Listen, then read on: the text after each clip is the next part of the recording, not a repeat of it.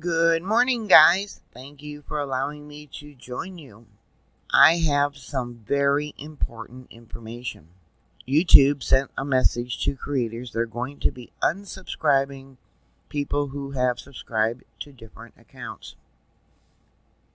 I've mentioned this before how they think you're bots, and people have complained how they've been unsubscribed from different channels, and how maybe to get around that, thinking you're a bot or a spammer or something like that. I don't know. They said removing spam subscriber accounts from your channel. They're going to be doing that over the next few days. But to get around that, you guys need to post a message underneath the video saying, Hi, hello, good morning, good evening.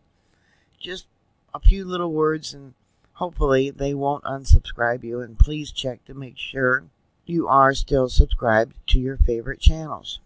If you're not getting notification um, that your people that you enjoy are making videos, try unsubscribing and resubscribing and then clicking the bell down below. That seems to have worked for some people.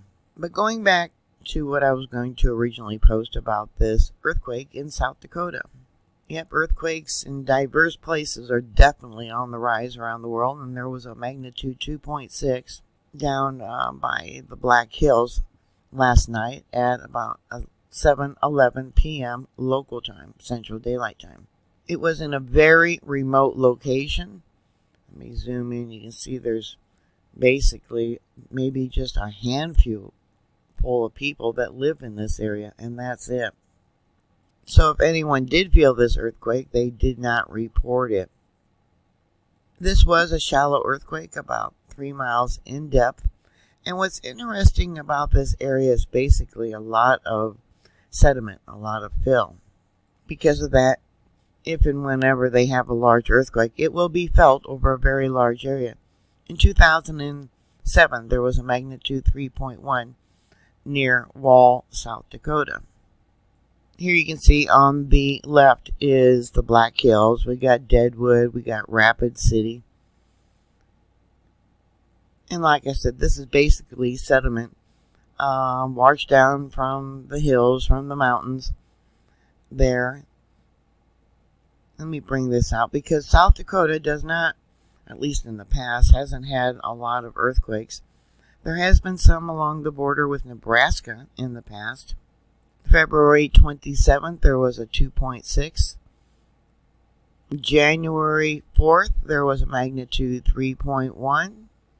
On the border with Nebraska on June 4th, there was a magnitude 4.2 that USGS downgraded to a 3.1. 883 people reportedly felt that earthquake.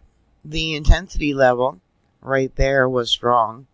Um, I did a report on that, I believe. Um, intensity level 4. Yeah, I know I did a report on that. It was reportedly felt all the way to Sioux Falls.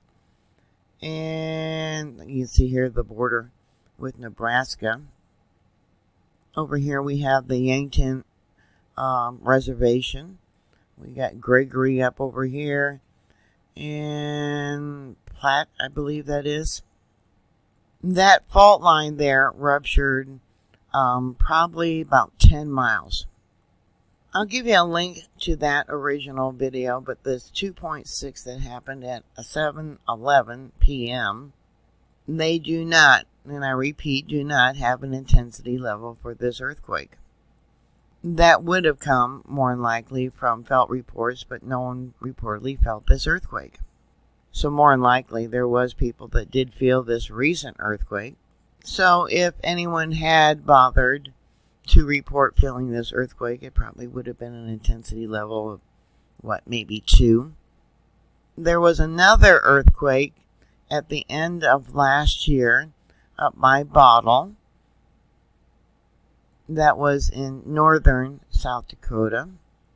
That was a magnitude 3.2. That was on December 9th just to show you how earthquakes are increasing, according to Google search, South Dakota only has maybe one earthquake every one to two years, and we've already had at least four so far this year. Four.